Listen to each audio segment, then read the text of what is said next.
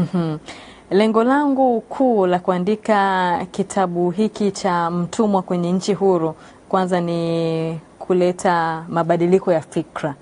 Unaona, kwenye hichi kitabu uh, tunamwona mhusika mkuu anavyopambana. Yeye ni mnyonge eh, hana kitu, hana nguvu, lakini hakati tamaa, anapambana. Ikitokea hiki anapambana, anapambana hata na watu wakubwa eh, ambao sio sio kitu rahisi. Wewe huwezi ukapambana na labda mkuu wa wilaya, huwezi ukapambana naye kwa sababu wewe ni mnyonge. Kwa hata kama amekuonea, unaweza ukanyamaza uka tu kusema jua sasa yule ni mtu mkubwa, mimi sina chochote. Anaenda anaenda polisi, ana uwezo kuambia bwana, mimi fulani ambaye ni mtu mkubwa kabisa kanifanyia hivi na hivi na hivi, nataka mkamkamate, japokuwa hapati matokeo sahihi ambayo angeyapenda, haki yake haipati kwa kupambana kule, lakini anaonekana kupambana kwenda kwa watu ambao mtu mwingine akasema ah, basi kama ishatokea hivyo, acha tu nikae, siwezi kufanikiwa. Kwa hiyo e, lengo langu kuu ni kuleta mabadiliko ya fikra kwamba tunaweza kuleta mabadiliko hata kama ni mtu wa chini, lakini unaona haki yako unaonewa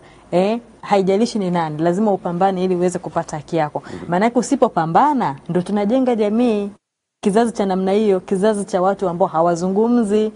Kwa unaonewa, hautazungumza kwa sababu wewe hujazungumza. Hata watoto wako si wanaona mama kaonewa, hajazungumza. Baba yetu kaonewa, labda amenyang'anywa labda shamba, lakini hajazungumza. Kwa ile inakuwa inaendelea, kizazi cha wanyonge kinaendelea kuwa kikubwa. Ndio tunasema sasa nchi iko huru, lakini watumwa ni wengi, kwa sababu watu hawawezi kuzungumza. Usipozungumza, maanake huwezi kupata haki yako. Kwa hiyo huyu mhusika amepambana, amepambana, amepambana mpaka hata ndio alipoishia nani gerezani, lakini akaandika. Yani mwisho alivyoona hapa nashindwa, lakini akaandika. Kwa hiyo anapokuja huyu mwandishi wa habari anampa, anamwambia, anampa ile shajara yake, ama niseme diary kwa Kiingereza, kwa anasoma, anamsaidia eh, mpaka baadaye anakuja sasa kupata haki yake. Lakini hii sio mwandishi wa habari, kwa sababu yeye pia alisimama akapaza sauti. Kwa mfano, na mtoto pale, mtoto amelawitiwa labda na, na, hata na, na, na, labda ni mzazi wako, labda ni, ni baba yako, usipopaza sauti ukanyamaza, kwa sababu tunasikia siku hizi watu wanakaa wanayamaliza kifam, kifamilia.